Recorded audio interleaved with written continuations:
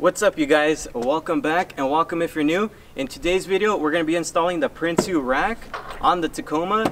If you guys have a Tacoma I would highly suggest purchasing from them. It's one of the best racks I've ever seen on any Tacoma whether it's a second gen, third gen, doesn't matter. So today's video I'm going to be showing you how to exactly install it. I'm going to show you exactly what you need to install it and I'm going to be showing you the tools and at the end of this video, I'm going to be showing you some cool little cinematic shots. So let's go ahead and get into the video and I'll show you how it's done.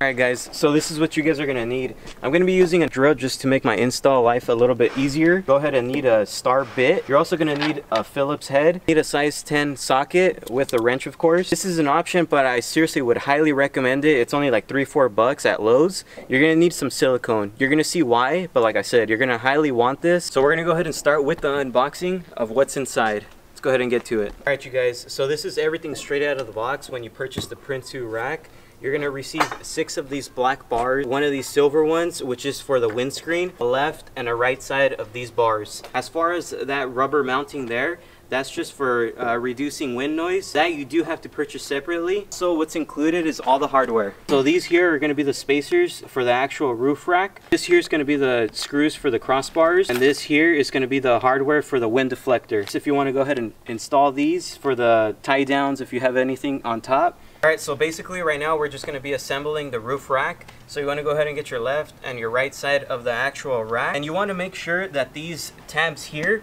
are pointed in the in direction because this is where the bolts are going to bolt down to the truck. You do want to do this on a flat surface. You don't want to try to attempt this on doing it on the truck. Right now I'm going to go ahead and get the crossbars and lay them out.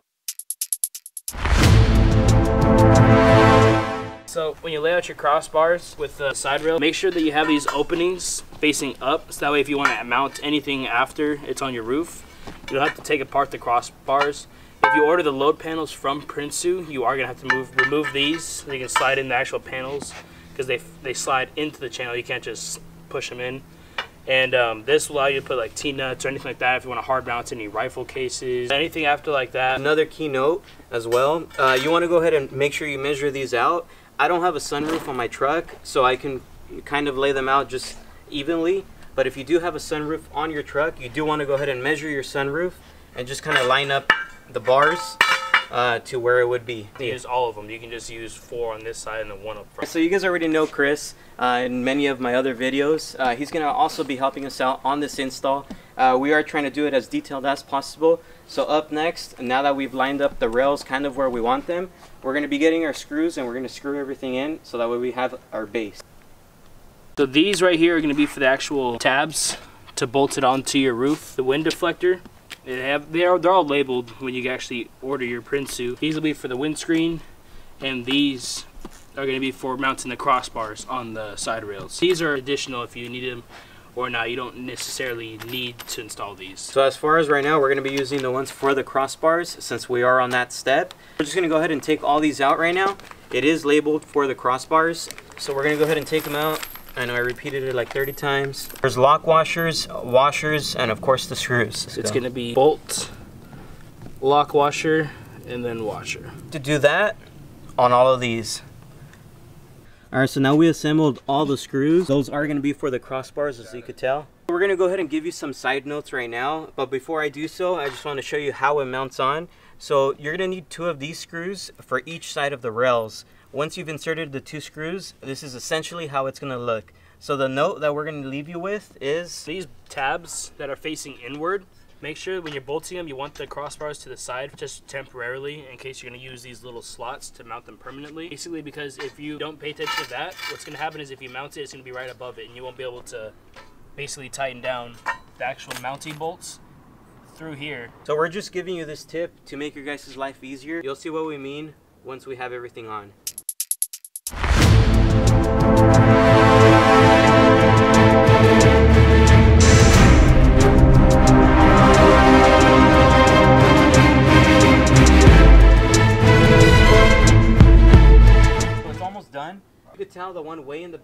It's slanted sideways. The only reason I have that done that way is because my antenna is back there and if I put it the correct straight way like these, it won't fit on correctly. Just another pro tip. Now that we have this constructed, we're gonna go ahead and move on to the windscreen. All right, we're gonna go ahead and get started and install the windscreen.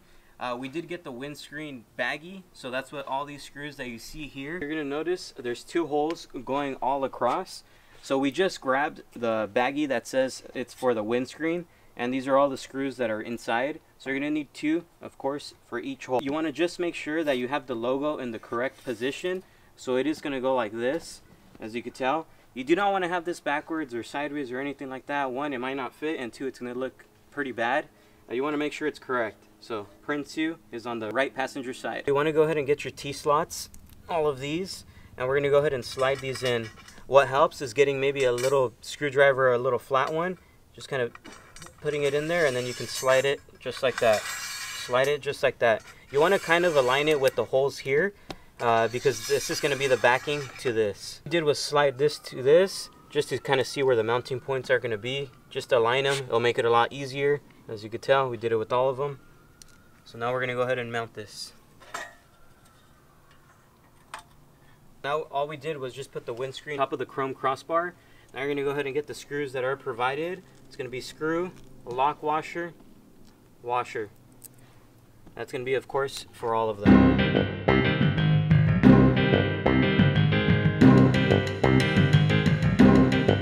Now that we mounted the crossbar onto the windscreen, you do want to make sure you have everything lined up correctly. Once you do, you want to go ahead and get a Phillips head and just torque all these screws down. Done. Now that I've torqued everything down, you want to go ahead and get your windscreen. Of course, this is only if you purchased it. I highly do recommend getting it. It's super cheap. If you do get it, you're to notice there's a channel here. This channel is just essentially going to go onto the bottom of the windscreen. So you want to start from one end, just kind of feed it in. So now that we fed it through, all I got to do is chop it here and we're good to go. All right, so now that I've put the weather strip on here, we're gonna go ahead and mount it onto the rack. Uh, just notice there is four screws here on the side. Of course, it's on the other side as well. Uh, you just wanna go ahead and make sure to mount it correctly. I'm gonna mount mine on the bottom two right here. If I do have to adjust it later, I can always just unscrew and move up or move down. Doesn't really matter. But I'm mounting mine on the bottom two. Now that it's all the way on. you're gonna have leftover screws from when you mounted all the other bars. So you're gonna have to use two of those. If you remember, it was a screw, it was a lock washer, and a washer. That's what's gonna mount this on.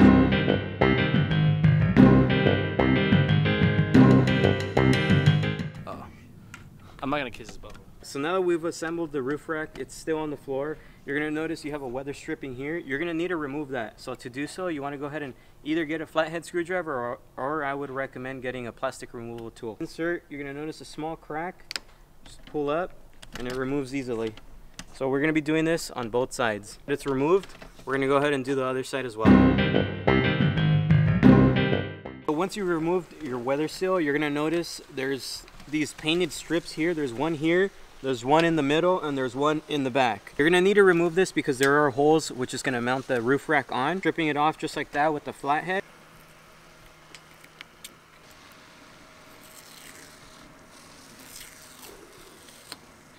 All right, so one down, two more to go.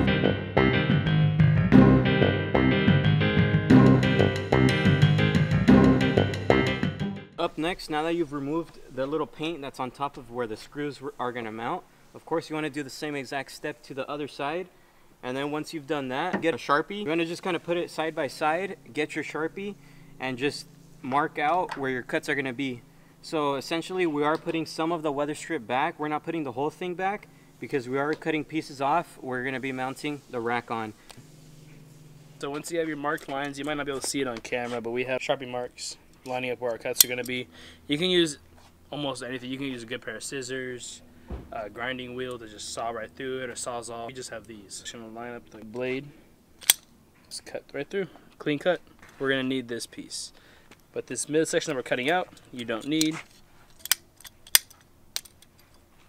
Don't need that, but you need to keep this end piece.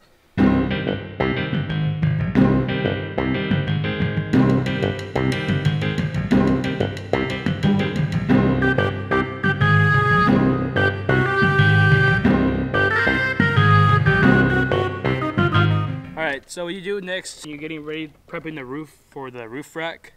What you want to do is get the silicone. Basically, what you want to do is you just fill it around these holes to help keep your roof waterproof. Don't be afraid to be generous with it because you want to use a lot just to make sure that you don't end up with a roof leak. Trucks smell like dirty feet. Ugh. You want to get those two?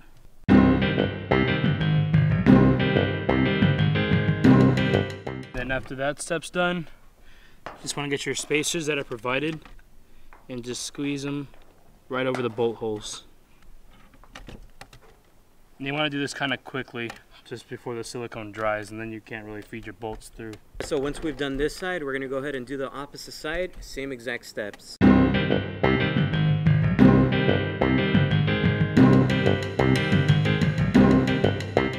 All right, and in this section here for all the bolts on the roof, the silver ones, it's gonna be a size up. 10. Keep it even so it's not stressed out in one spot.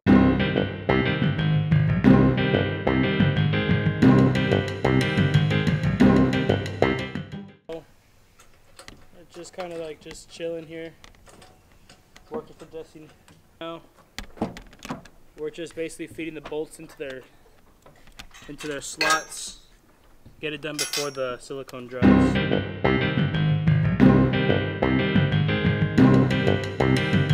Always with these ones, it's gonna be the same thing. So you're gonna have your bolt, your lock washer, and your washer. Just keep that in mind. That's for all of them. Smile. So now that we mounted the hardware, the rack is now secure. I still have to screw these screws in a little tighter, but before doing so, I'm gonna go ahead and put my weather guard back. So remember we did cut it, so now I'm just gonna have to put it in the correct slots and we should be good. It's super simple to install. You just literally slide it over, put some pressure in it. There's the first one. So we're just gonna go ahead and do the same for the rest.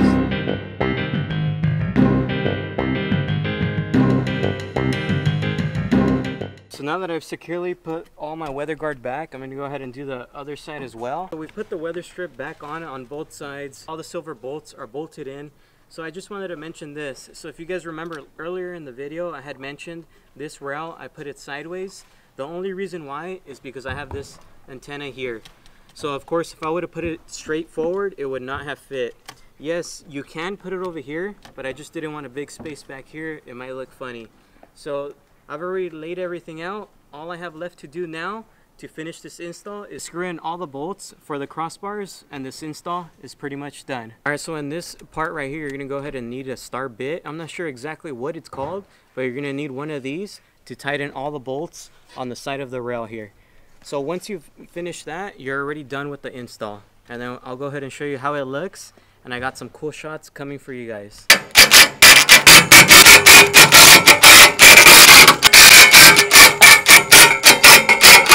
All right, so this is for the curious George people, uh, the ones that want to know how the bolts are lined up. So this is towards the front. So there's going to be two bolts right here, one bolt right here, and there's going to be two more bolts back here.